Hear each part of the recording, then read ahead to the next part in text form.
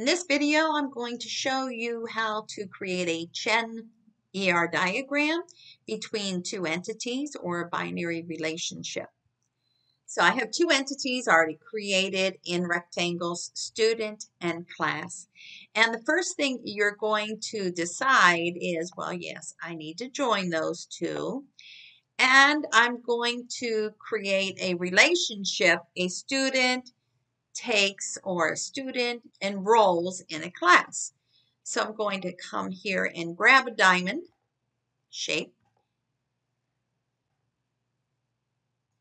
and then add the text enrolls here. So we're showing that relationship there. Now before we move on, let's add some attributes to student and to class, including the primary key. So attributes in Chen model will simply look like ellipses. Let me draw a couple ellipses here. So let's say this contains the last name field. And let's say that our primary key is going to be student ID. And in the Chen model, what you're going to do is that's required. So I'll make that bold. And when you underline it in the Chen model, then that means that's the primary key field and let's say um, major is going to be another field we have in here. And of course, there's many more fields. If you recall, when you applied at HCC, every field that you filled out on the web application form is probably a field in your student table. And what we're going to do is draw some lines. And you get the idea. You would have many, many more fields than that, but that's a start. And we'll do the same thing for class. Okay, so I've got some attributes around class. You can see that class ID, because it's underlined, is the primary key. It's also bold. All primary keys are required. Class format, I say that's required. Online hybrid in the room.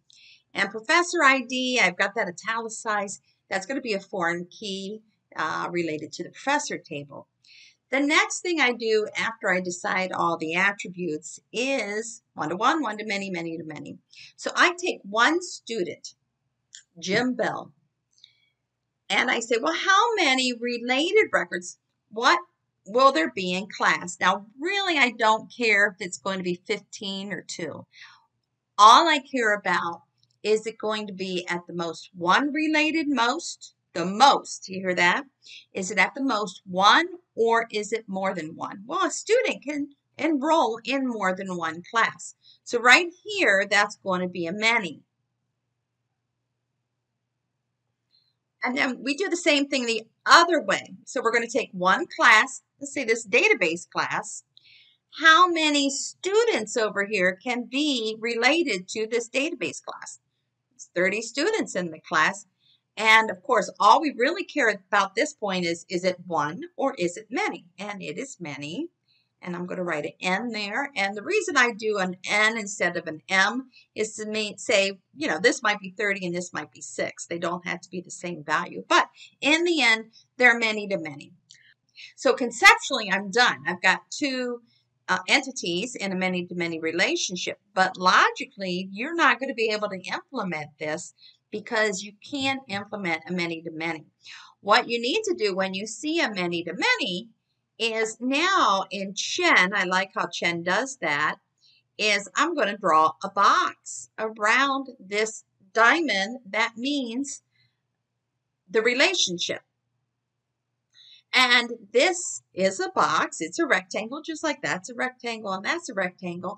This will be implemented as an entity we're going to call it a composite entity. So the entity that's created to resolve the many-to-many relationship is called composite entity. Well, we're not done because entities are going to have attributes.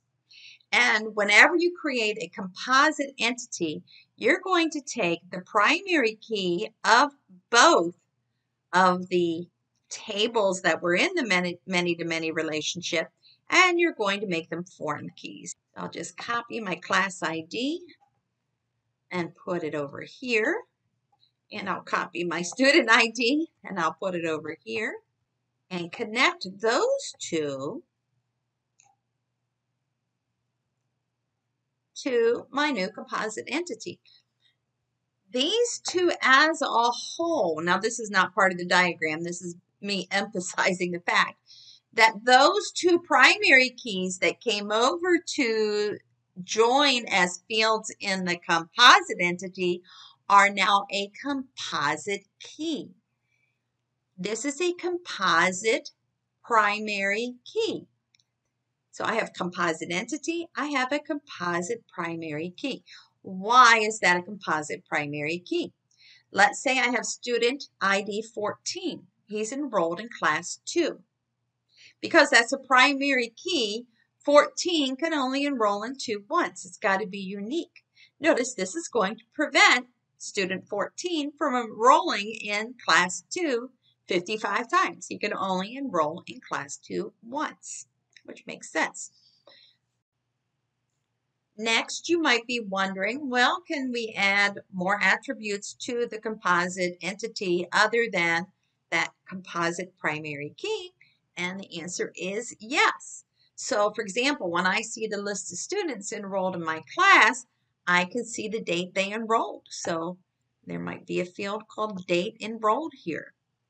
Let's go in and consider the modality or minimum cardinality. Can I have a student that does not enroll? And yes, that's optional.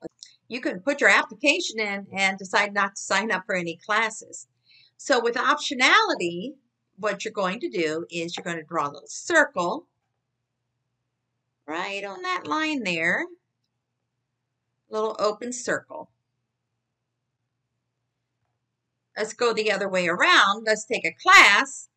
Uh, does there have to be any students enrolled in it? And when that class is created, my guess would be I'm not going to require a student to be in the class. So that too will have an optionality. So that is the start of our ER diagramming. In the next video, you'll see that this is an iterative process. So now maybe I have a prof ID here, so I know I'm going to now take prof, professor as a table and, and consider the relationship between class and professor. And I see a major, and there might be a major lookup table, and I'll consider the relation between student and major. And can a student have a double major, for example? So this is an iterative process. You build a little and you keep adding and adding until you have your complete database diagram, ER diagram. But if you take one step at a time, you'll be able to do it.